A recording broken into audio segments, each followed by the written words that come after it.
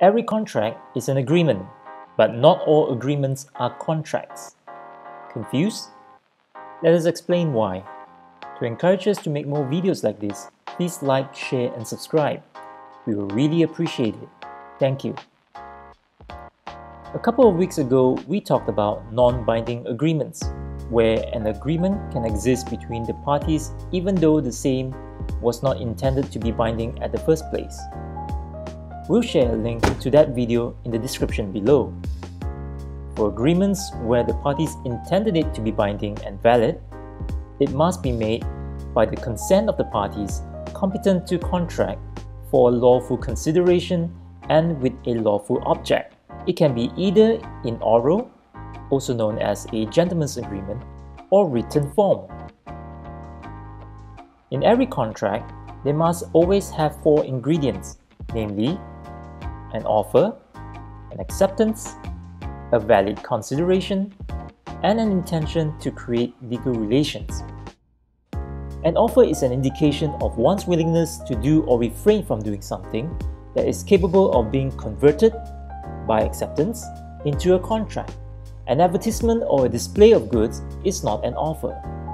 It is simply an invitation to treat.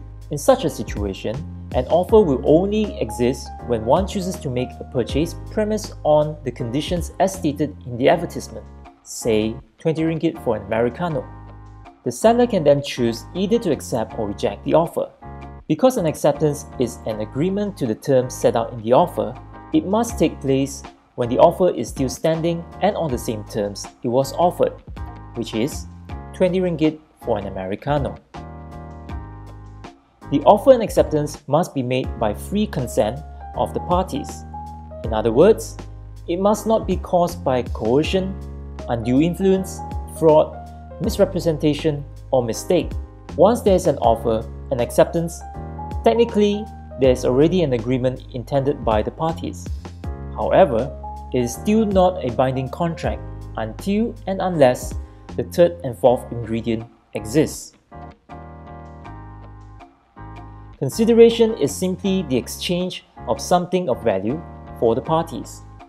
Simply put, it has to be something that the parties have agreed to exchange at the time the contract was formed, ergo, the Americano and the 20 ringgit. The absence of any consideration or if the consideration is illegal will render the contract void. For example, an exchange of illegal substance with a cup of Americano. An intention to create legal relations is an intention to enter into a binding contract. Such intention can be ascertained from the terms of the agreement or the parties' conduct. However, in Malaysia, there are laws that disqualify certain people having the capacity to create such legal relations, such as minors or one with an unsound mind. Whether one is of age to contract would also depend on the types of contract he enters into. For example, a 16 year old cannot enter into a contract for a mortgage, but can enter into an employment agreement pursuant to the Children and Young Persons Employment Act 1966, or even a scholarship agreement. Once all four ingredients exist, a contract would then be formed. However, not all contracts are valid contracts. When the terms of the contracts are uncertain, the agreement is rendered void. When the object of the contract is prohibited by any written law, the agreement is rendered void. For example, an agreement to partner with a group of robbers to carry out a heist at the Royal Mint, or an agreement to export illegal substance is deemed void.